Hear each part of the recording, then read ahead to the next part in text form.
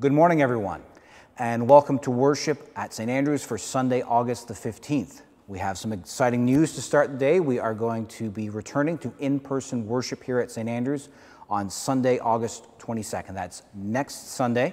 Uh, we have all our plans and protocols and safety procedures uh, in place. You can find those in person worship guidelines. Uh, if you're on our St. Andrews email list. It should be in your inbox. I would have sent it out on Friday. Uh, if you're not on our email list, you can just go to standrews.ws, our website. Uh, you can find it in the description below in YouTube uh, and find out what our in person uh, worship guidelines are. Uh, we're going to have a maximum attendance of about of 40 people uh, to allow for physical distancing. You will need to wear a mask when you come. And again, check all those other guidelines before you, you, you come to worship. Uh, next Sunday, if you can let us know if you're, you're interested in coming, that'll give us a sense about whether or not one service is going to be enough or whether we need to go to two. I, again, information is there on the, the, website or in your email. So that's exciting news. Uh, we're also going to be continuing our online services permanently. Uh, the online service will go live on YouTube, or rather premiere on YouTube at 10:30, the same time as our in-person worship service. Uh, but recognize that online and in-person are a bit different. It's going to be a specific service made uh, for, for all of you watching and, and engaging online. Uh, so that'll be also going forward.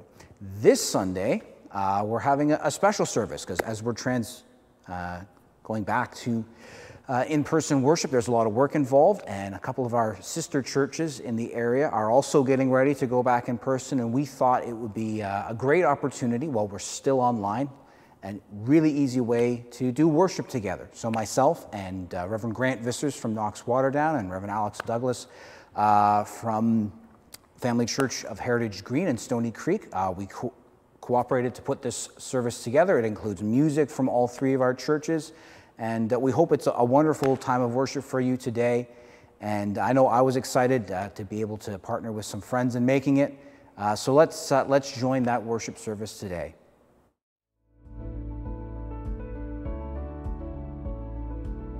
Good morning and welcome to worship to the congregations of Heritage Green, Waterdown, and Ancaster.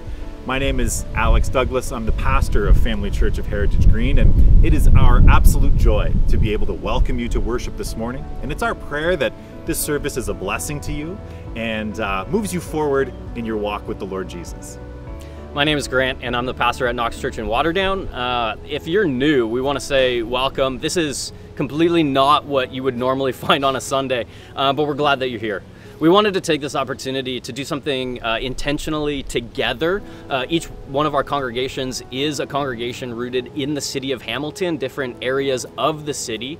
Um, so we're actually filming this overlooking the city skyline because we thought that it would be important in this season to worship together, to experience life together, maybe encourage one another, and really uh, start to practice what it means to be local churches together for our city. And so that's what we're really hoping to uh, encourage all of us toward today is serving our city together as local churches uh, through the love of Jesus. So again, welcome. We're, we're glad that you're here.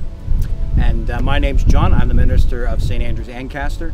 And uh, as, as my, my friends have said, we're, we're here to encourage one another and encourage one another through, through what's still troubled times. And as we it was start our time to worship today, uh, we, we turn to Jesus, uh, who, who spoke to his friends on uh, the most troubled night, probably of their lives, uh, to say that I've told you all these things so that in me you may have peace. In this world you will have trouble, but have courage, for I've overcome the world. But Jesus not only encouraged them, he prayed for them. He prayed to his Father, knowing that he would be away. He said, Holy Father, protect them in my name and help them to be one as we are one. Me and them, them and you, all one together. And uh, that's what we're gonna we're gonna pray for now. Holy Spirit, help us to be one in Jesus our Lord. Build us up together so that we would show the witness that Jesus, you are who you say you are, and that you are here to guide us, protect us, and to be be that power, be that guidance, be that protection through the world, for all the world. We pray this in your name. Amen.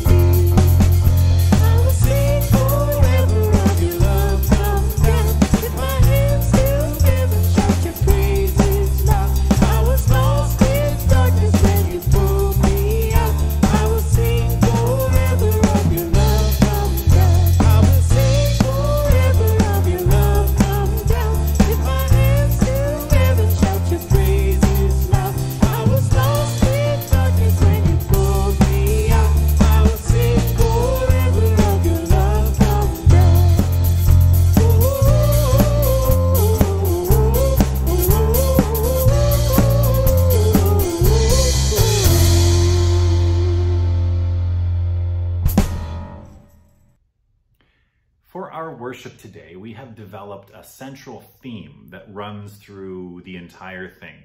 A truth about God that is true regardless of where you're from, who you are, how old you are, or what you do for a living, which also includes our young friends. And right now, your job is to relax, stay safe, and get ready for school.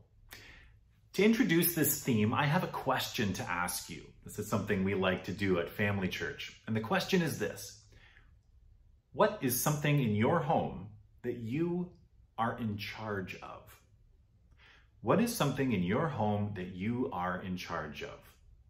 If you need to pause the service right now and think about that, feel free. Discuss it with the people you're with. And regardless of how old you are, I bet there is an answer or two or three or a dozen to that question. In your home, are you the person who puts out the garbage? Or maybe are you the person that brings in the garbage and recycling bins? In our home, that job is not so well defined. Maybe you're the person who sets the table, or clears the table, or loads the dishwasher, or empties the dishwasher, or maybe in your home, you're like me, and you will unload and reload the dishwasher regardless of who loads it because you just kind of you like it done a certain way. Maybe you're the person in your home that's in charge of meals or making sure everyone has clean clothes or making sure that the temperature is just right in your house. Maybe you're the person that plans the fun in your home. There are so many different roles that we all play, different things that we are in charge of. And I bring this up because our theme for today is that God is in control. There might be lots of things in our lives that we have been put in charge of. Maybe it's jobs in your home. Maybe it's a job outside of your home. But all of it is under God's control. That doesn't mean that God picks us up and moves us where he wants us to go in order to force us to fit into his plan. No, no, no, no, no, no, no. It means that everything that happens, God is watching over and God can use for good. Let's take a peek now into a piece from Scripture, what we call the Big God story here at Family Church, and see what it has to say about this idea that God is in control. Last week, in the Big God story, we met one of Jacob's sons named Joseph. Pretty happy guy who had an amazing gift for helping people to understand the crazy dreams they had. But things weren't going so well for Joseph last week. Thanks to some jealous brothers, he'd been beaten up and sold as a slave. Off he went to a country named Egypt. Well, once he got there, things didn't get any better for Joseph. He went from being a slave being in jail for something he didn't even do. Could things get any worse for Joseph? Well, one day, into his prison cell were thrown two very frightened men who'd also had weird, strange dreams. Joseph helped them understand what their dreams were going to be about. To the servant, he said, You'll be free. To the baker, he said, I'm sorry, you'll not be leaving this place. They thanked him for helping them understand. What Joseph had said came to pass. The servant was set free, back into the Pharaoh's house, and the baker never left the prison. And so, when Pharaoh woke up one night with a weird and strange dream, his servant knew exactly who he should talk to. And so that is how Joseph went from being in jail to meeting with the king of all of Egypt. The king explained his dream to Joseph, and Joseph explained to him what it meant. Joseph said, For seven years, Egypt is going to have an amazing harvest. You'll have more food than you know what to do with. It will be incredible. But after that, seven years are coming when there won't be anything growing. It'll be a drought. It'll be the worst drought Egypt has ever had. What I think you need to do is find someone to manage things, to make sure that you save enough during the good years to be able to feed your people during the bad years. The king was so grateful for this information, and he agreed with Joseph. Someone special did need to be found, and he believed that person was Joseph. Just like that, Joseph, who had been in jail at the start of the day, was now the number two person in the entire kingdom of Egypt. Joseph's story is a powerful reminder that no matter what, God is always in control.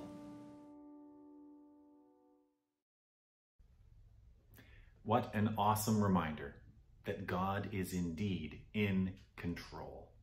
And if you'd like to find out what happens next to Joseph, well, you don't need me to tell you or wait any further. Grab your Bible and open it up to Genesis around the area of chapter 40, 41, 42, 43, 44, and you will see what happens next to Joseph and his family. Do you think in this story that Joseph felt like he was in control of his life in the same way that maybe we feel we're in control of our lives? I don't think so. Joseph could not control whether or not someone told a lie about him, and he ended up in jail because of it. And then when he was in jail, there was nothing he could do to control getting out. But God was in control all along. Even when someone meant something to hurt Joseph, like telling a lie about him and getting him in jail, God is able to use those situations to bring about the very best of good things. Joseph has no control over who was in jail with him, or what their problems were, or even what gifts he had in life. And yet, because God is in control, the right person was in the right jail at the right time with the right problem that Joseph could fix with the right gift. So that later, when that right person with the right problem was out of jail at the right time and met with the right king who had the same problem for those right gifts, you get the idea. God is in control. Amen. And thank you, Lord, for that. I want to close my time with encouraging you to bless one another today. These aren't words from me to you, but rather words from God that you can speak over each other. So whether it's to someone that you're in the room with right now, or someone far away that's on your heart, maybe you haven't been able to see because of the pandemic, I want to encourage you to take these words and say them to that person today. Repeat after me. May you know that you are loved by God and by your family. May you trust that our good God is always in control, today and always. Amen, friends. Let's continue our worship this morning.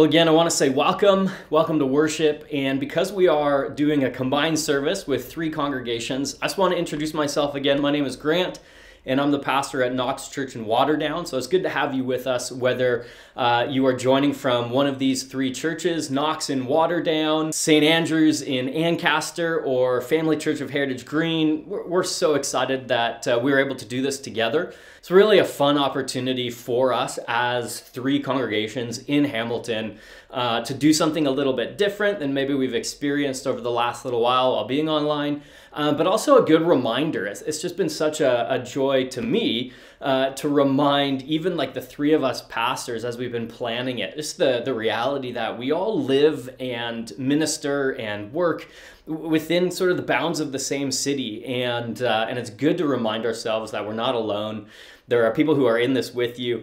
And so i do hope that you find this whole service encouraging a little bit different and uh, a good opportunity to see what some of the other churches have been doing and to worship together. So uh, again grateful to have uh, to have each one of you with us. We're jumping into psalm 34 and uh, if you're new to me preaching online, typically I throw it up on uh, a screen on this screen right over here. So I'm going to do that again, but I always like to encourage you, if you're able to, if you have something in front of you, uh, to do that. Pick up a Bible or a phone, tablet, whatever it is.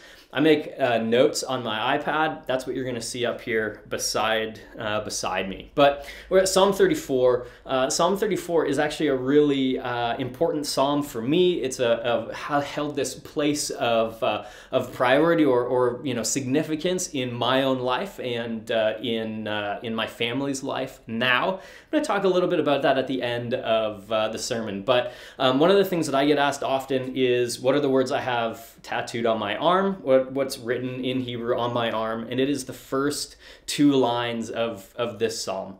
And uh, there's a reason for it. We're going to talk about what I think this psalm lays out for us, for those of us who call ourselves followers of Jesus. Actually, that this is like the best way to live life. Uh, for humanity created in relationship with God. Uh, but this is a psalm of praise, and it's a great reminder to give God praise, uh, maybe easy to praise God when things are good. We're going to see that that's not actually, in fact, always the case. Not even the fact uh, of David's life in these moments uh, as he's writing this psalm. And uh, so you can see that. You can see that right from the beginning. So I'm going to pray. And uh, then I'm going to read uh, the first nine verses of the psalm, which is really what we're going to be dealing with this morning. And, and we're going to jump into it. So, would you pray with me? God, thanks that you love us and that you're with us and that we're able to do this together today. Share in this uh, joint service with three congregations who love you and want to serve our city.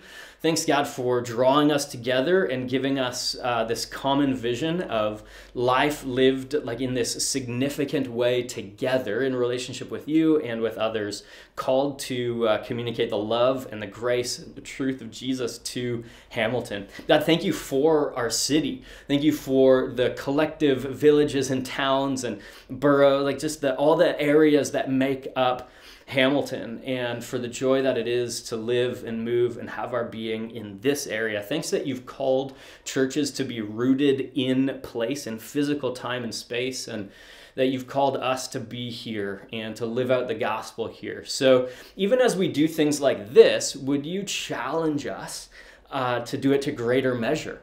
Would you call us into this bigger vision of what it could be like to share in church life, in pursuit of a relationship with you uh, together as congregations, locally rooted in, in our city? So, God, we love you. Thanks for the scripture. Thank you for this psalm, a reminder to praise God in the midst of life, up and down, good and bad. And I pray that you would uh, challenge us today to live a life of, uh, of joyful praise, who you are, who you've created us to be, and who we are in relationship to you. God, things that we belong to you. In Jesus' name we pray.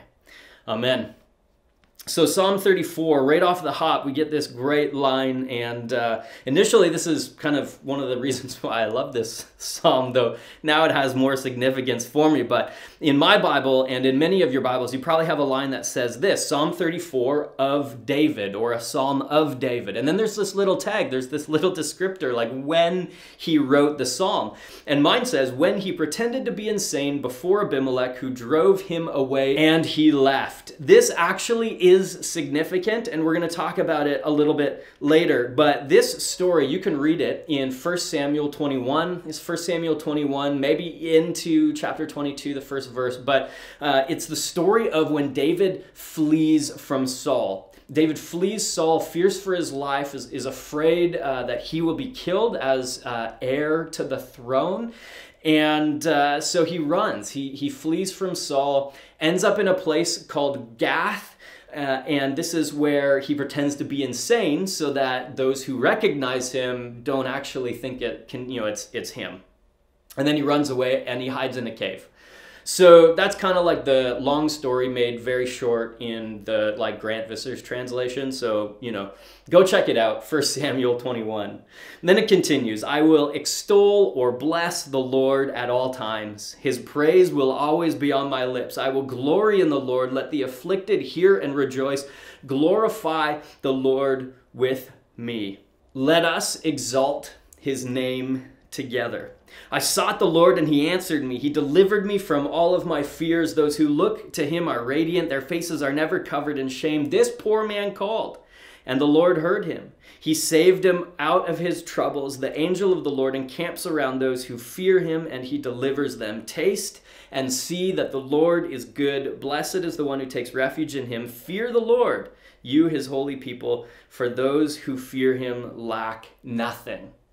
The psalm continues for about 25 verses, but I, I, want us to take a look at these sort of three stanzas or three movements of the psalm because I think that these are important and the movements here are important. As a psalm of, of praise, this psalm is really doing two things, and this is what I want us to settle into a little bit. Uh, it's, it's declaring the praise of God and inviting us to praise God. And so the first sort of stanza is a declaration of praise. And what David is doing is declaring his praise for God. I will bless, I will extol the Lord at all times. His praise will always be on my lips. I'm going to praise God continually.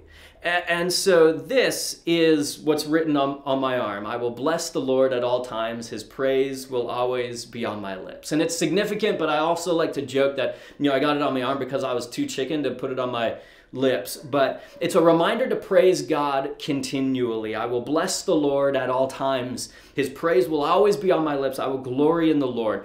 And it's David's way of saying that no matter what circumstance I may find myself in, I am going to choose to bless God. I'm going to choose to praise God. I'm going to choose, as he says, to extol the Lord at all times. And then we get to read why. Why does David praise God? Why does David choose to bless the Lord at all times? Well, then we get the second stanza I sought the Lord and he answered me. He delivered me from all my fears. Those who look on him are radiant. Their faces are never covered with shame. And then there's this great line that I love This poor man called, and the Lord heard him. He saved him out of all his troubles. The angel of the Lord encamps around those who fear him, and he delivers them. The second stanza in this psalm of, of praise, it's, it's why. It's, it's the testimony that David brings. It's the story behind his praise. It's, it's the reason for his ability to say, I will choose to bless God at all times. And so we've got this reason for praise. David is encouraging the reader. He's encouraging those who would have been hearing this psalm to praise God. There is a reason for it. It's not just an empty invitation. That we got to remember though, and this is where I think that the the where of the psalm and, and the kind of the when of the psalm is important because it, would be easy for us to say, hey, that's great. You know, we know things work out great for David in the end. David does become king of Israel. David doesn't have to flee Saul forever. David is led out of that season of life and into a season of flourishing. Then, then we also know a whole bunch more about David's life, the up and the down, but it would be easy for David as king of Israel to say these things. We got to remember, like, this is David writing, and what a lot of people suggest is, is this is David potentially even singing or, or speaking this psalm from the cave for those who would have been with him and around him. And so it's not, it's not David in his old age on his deathbed reflecting and saying, hey, look, everything works out in the end. It's David when he pretended to be insane before Abimelech, who drove him away, and, and then says David laughed. And so David is convinced, even in the midst of what he's going through, even in the midst of having to flee Saul, even in the midst of what he is experiencing in his life, there is a reason for praising God. There's a reason to declare the praises of God. There's a reason he says, I will glory in the Lord. And then we get, I'm going to jump back to verse 3, we get a hint at what is to come in verse 8 and 9. And that is an invitation to praise as well. An invitation for the reader, the hearer, to praise God alongside David. Glorify the Lord with me, he says. Let us exalt his name together. David is inviting those with him to praise God alongside him. And then in 8 and 9, taste and see that the Lord is good. Blessed is the one who takes refuge in him. Fear the Lord, you holy people, for those who fear him lack nothing. This is an invitation to join David in his praising of God. It's a little bit more than that. Retaste and see that the Lord is good.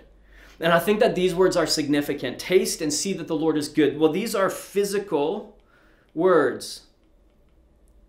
Okay, and, and, you can think about what it is like to taste and to see something in your life. You can remember maybe the last time you, like me this morning before I was getting ready to preach this sermon, took you know a couple sips of like my third coffee. I, I remember what that tastes like. You can see. Those of us who are able to see can see and remember what sight is like colors, people, paintings, experiences, things we've been through. Taste and see that the Lord is good. David wants to remind people listen, uh, despite the fact that we're holed up in a cave, despite the fact that I'm on, on the run, despite the fact that you know these things are the way they are, we're still able to praise God, not because of the situation that we're in, but because of the person that God is. We're, we're not praising God because of what we're experiencing, we're praising God because of who He is, His goodness, which lasts forever. And so David wants to say, listen, regardless of the circumstance that you're in, that I'm in, that we're in, we have a reason to praise God. And it is not what we're experiencing, it is the goodness of God. These two words, taste and see, carry this meaning in their being um, as they're translated out of Hebrew of, of perception, perceive, experience. David is saying, listen, this is available to you. This is on offer from God to you to taste and to see His goodness in your life. And I got to tell you, it's, it's a goodness that I've experienced. And it's a goodness that my wife and family have experienced. And, and it's a goodness that, that your pastors, I know, John and Alex, have experienced in their lives as well in, in many ways. It's, you know, boils down to, to why we do what we do. We've experienced the goodness of God in the, in the land of the living you know, I do. I, I, get asked why I have a tattoo on my arm. And listen, like tattoos uh, have mixed reviews for Christians. Um, so if you have questions about that, I'm I'm not actually going to get into that today. That's a rabbit trail that will lead us far away from the point. But suffice to say, or leave it at this, that if you've got a question about that, I would love to have a conversation with you. I put this on my arm as a reminder of the two points that I think David is trying to make for me, for us, for you, and, and that is that we have a choice to praise God for his goodness, regardless of what it is you're going through. We also sometimes need a reminder to praise God in the midst of whatever it is you're going through. So my wife and I have two beautiful daughters and eventually they're going to grow up and you know maybe they'll stumble upon this message on YouTube. I don't know. They'll know this story at some point. My wife and I are blessed to have these these two in our lives, but the road to our family as it is now wasn't a straight path. It, it was filled with ups and downs and curves and twists and forks in the bend and uh, ended up having multiple pregnancies and and two kids. So I remember sitting in the hospital with Connie before she was headed into surgery and just thinking to myself, like, I've got a choice. We've got a choice here. We've got a choice with how we are going to face the next days and months and weeks and, and years ahead. We have a, a choice to, the, to choose to praise God for who He is or to question God for the season that we're in. And, and believe me, we had questions, and believe me, we were angry, and believe me, we shed many tears. But it, it was in those moments that I realized that we as human beings, and if you call yourself a follower of Jesus, have this incredible choice to praise God and, and to bless God because of who He is and not because of what you're going through. And I got to tell you that if you bless God or praise God because of what you're going through, that's going to be a roller coaster ride of a life. What the Bible calls Christians to, followers of Jesus to, is fixing our eyes on one who is constant through these seasons of life. And for us, this, for me, serves as a reminder that it is my choice to praise God regardless of what I'm going through. It's also my responsibility to encourage others in the midst of what they're going through. Because you may find yourself in one of two situations. I mean, maybe more than that, but when it comes to praising, you may find yourself in this unique position to praise God regardless of what you've experienced. You may find yourself needing the encouragement and reminder to praise God in the midst of what you're going through. And, and that's what I needed. I needed somebody to come alongside me. I needed God to show up and remind me that, listen, at the end of the day, it's His goodness that we experience in this life, and it's His goodness that we praise Him for. But I also need to continually remind myself that as a follower of Jesus, I need to choose to come alongside others and to remind them to praise God in the midst of what they're also going through. And so I, I love this psalm. I will bless the Lord at all times. I will praise God at all times. His praise will always be on my lips. Taste and see that the Lord is good. Blessed is the one who takes refuge in him. It's not always easy, but it does lead to greater contentment in your life and in your relationships, both with God and others. What's your reason for your praise? And what's the reminder that you're able to give others when they need a reason to praise God because of His goodness? I would love it if you would share, be willing to share those in the comments.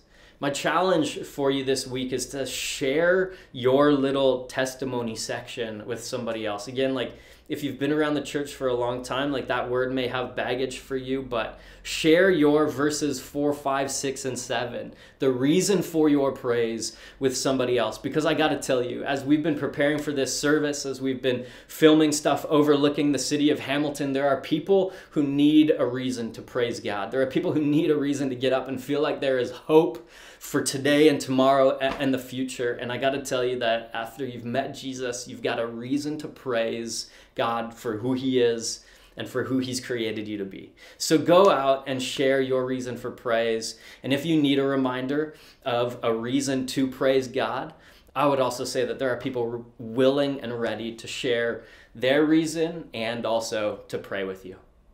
Let me pray. God, thanks that you do love us, and thank you that it's your goodness that gives us a reason to praise and, and a reason to get up and, and experience hope and, and joy and life in the midst of up and down and in the midst of seasons that we experience. And God, thanks that you've given us a reason to praise you in, in your goodness and, and that you've called us to share that with others. Would you encourage us to do it even in our families and circles of friends um, and into this city? God, we pray that the city of Hamilton would know the goodness of God in the land of the living. Like if we could put our finger on it, that would be our prayer today coming out of Psalm 34. Yeah, we, we love you. We're grateful more than that to be known and loved by you. In Jesus' name, amen.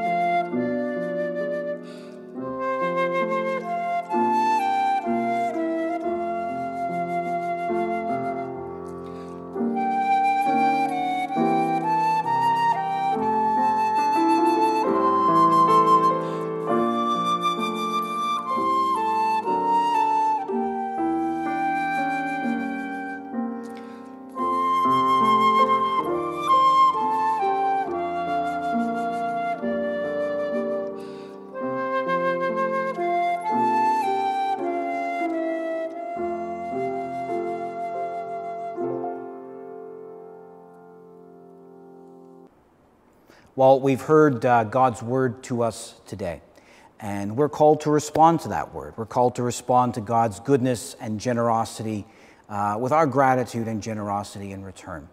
One of the ways that we can do that is to support the, the ministry of our local churches, whether that's St. Andrew's, whether that's Family Church, whether that's Knox Church. Uh, we're all serving God's mission together in our local communities. And uh, we encourage you to, uh, to join us in doing that, as many of you have done and done so faithfully uh, throughout these difficult times. Another way you might give generously in response uh, to God is to support a local service agency or Christian mission. Uh, however, it helps people and, and, and, and shows God's love.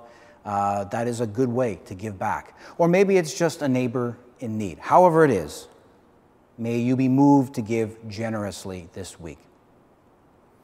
We respond to God's word uh, through prayer, and uh, we're going to take time now uh, to pray for God's wor- work in the world, to give thanks for, for all He's been doing, and to bring our needs to the God who loves us and longs for there to be goodness for us. So let's, let's pray together. Almighty God, loving Father, we thank you that you are both good and powerful, that you have the ability to guide us and guide all creation to what is good, just, and beautiful. We thank you that you give us the freedom to choose you and to choose your way, even as we confess that we regularly abuse this freedom to reject you and to bring harm to ourselves, to others, and indeed to creation itself. We thank you that you are trustworthy and gentle in how you use your great power. There are times when we want your control uh, to be more obvious, and there are times also when we want you to let us have our own way more than you do. Help us to trust in your wisdom and your goodness in these times. Help us to have hope for the day when we see you face to face and the world is made new and perfect, and when we will see all the things that you see now, but we cannot. We thank you most of all, God, for the gift of Jesus, your Son, who showed us that your power is made perfect in weakness, and that you suffer with us through the bad, even as you work to bring good from it in the end. And as Jesus taught in all things, Lord, we pray your kingdom come. We pray for this world, O God, of justice and mercy. We pray for this world that so often seems out of control. We pray for places where the weak are victims of the strong, where there is violence and oppression. Lord, we pray for the two thirds world that have not had the same access to vaccines that we do. They're going to face another wave of COVID with, without it. Lord, we pray for the vaccination campaign worldwide, even as we give you thanks uh, for the, our privileged position to have received them uh, so freely here. Lord, we pray for those in our community uh, who have not been able to get vaccinated because they have barriers because of their work or, or where they live. Lord, may they get that access that they need. And we pray for any of those who are, who are feeling hesitant right now. Lord, help us to pull together in this time to bring safety uh, to everyone, particularly as we come up to a new school year. Lord, we pray for our city. We pray for Hamilton. Lord, uh, COVID has, has highlighted many of the ways that we are unequal, that there are not everyone receives the full blessings of living in this place. Lord, we pray especially for those who are homeless right now.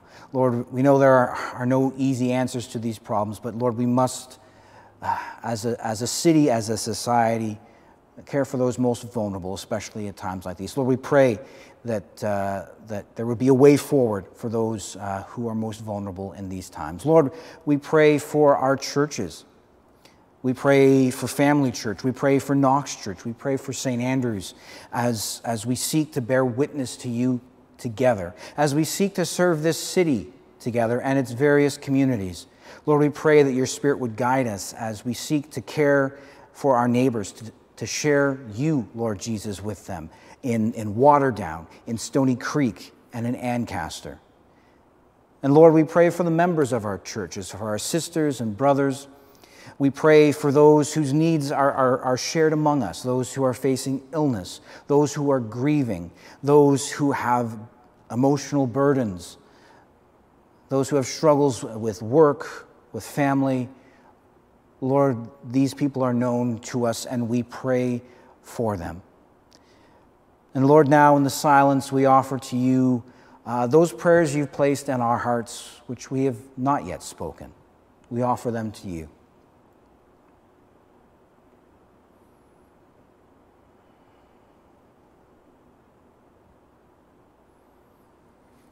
We pray all these things in and through the strong, sure, and compassionate name of our Lord Jesus Christ, and pray further as he has taught us. Our Father, who art in heaven, hallowed be thy name. Thy kingdom come, thy will be done on earth as it is in heaven. Give us this day our daily bread, and forgive us our trespasses, as we forgive those who trespass against us. And lead us not into temptation, but deliver us from evil. For thine is the kingdom, the power, and the glory, forever and ever. Amen. All right, well, this brings this shared service to a close.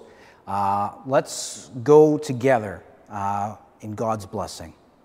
Now, may grace, mercy, and peace from God our Creator, from God our Redeemer, and from God the Holy Spirit rest and remain on each one of us both now and forever.